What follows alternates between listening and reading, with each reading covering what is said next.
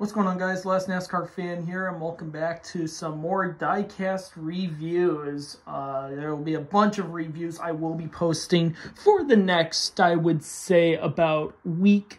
Um, got some interesting reviews, as I stated before, that'll be uploaded. I think a couple days, like I think I'm going to do at least um, about two reviews per week just into the build up lead up to um, Halloween where I'll have a little bit of a special diecast review with some candy cars um, that I haven't done reviews on. But I'm really excited to get into some of these reviews.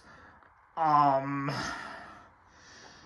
but yeah so whole slew of diecast reviews. I'm really excited to get into these. First one we're going to be taking a look at is a very interesting Racing Champions uh, diecast release back in the day. A lot of people, if you watched NASCAR, especially in the early mid 2000s, you probably remember a bunch of Busch Series driver busts, such as, uh, unfortunately, like Erin Crocker, uh, Aaron Fike, um, I forgot the other uh, USAC driver that drove for like um, uh, Akins before Braun Racing bought them out. Uh, it's on the tip of my tongue. I, I can't remember the name. Well, I mean, there's also like Kyle Krisiloff, but Hendrick had a slew of bu- slew of busts that um, were eventually fired, and Kyle Busch had to drive the remainder of the races. And those two that we have are I'm just gonna uh, there we go. Sort of there. Eh, you can sort of see it. It's kind of hard to see it, but um, so we have the 2005 Blake Feese and Boston Reid number five Lowe's Chevrolet Monte Carlo Busch Series for Hendrick Motorsports. So these two basically were like swapping drivers just to see who was like the better developmental driver. In the end, both sucked and were out of the ride by the end of the year, with Kyle Busch taking over, of course.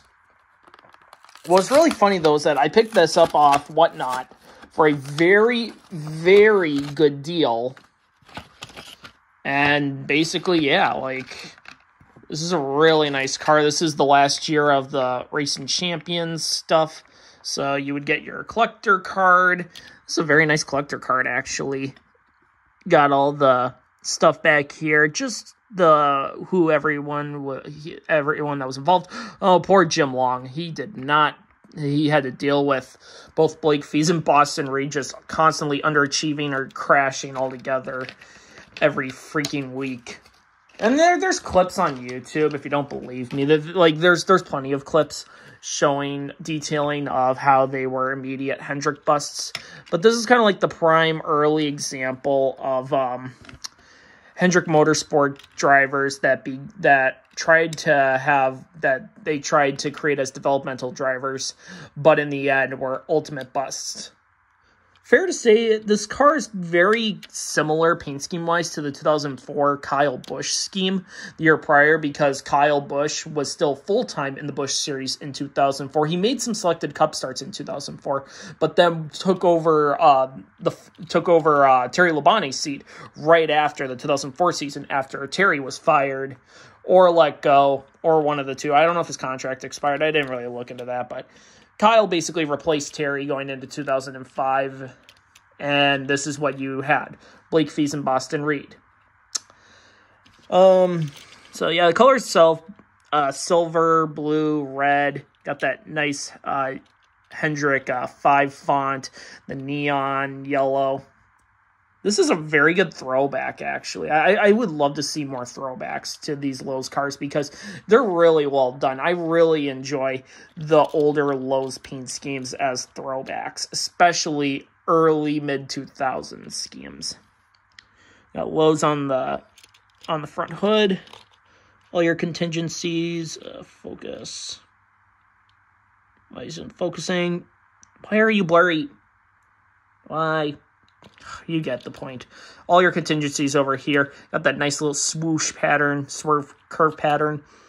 Um, uh, got your B and C pillar sponsors. Uh, Shop Vac, Quaker State, uh, Freightliner, uh, the works down there. And then on your driver's side sponsor, Spectre side, as well as uh, Briggs & Stratton, uh, Hitachi Power Tools, that's right down there. Quarter panel sponsors are Quaker State and GMAC, which is actually Ally Bank, if not a lot of people know. GMAC re, re um, um, restructured itself into Ally Bank. Uh, you got Lowe's on the deck lid, and then on the TV panel, you got Lowe's again. But yeah, overall, this diecast is a very interesting one itself. Uh, kind of just likes to poke at the um, how Hendrick Motorsports couldn't really make developmental drivers, and in the end had to fire two very underachieving ones for poor Kyle Busch to get more seat time uh, for the ride itself. But thank you so much for watching. Comment, like, subscribe, hit the notification bell for brand new videos. I'll see you in the next diecast review whenever. Take care, everyone. Have a good one. Keep on collecting.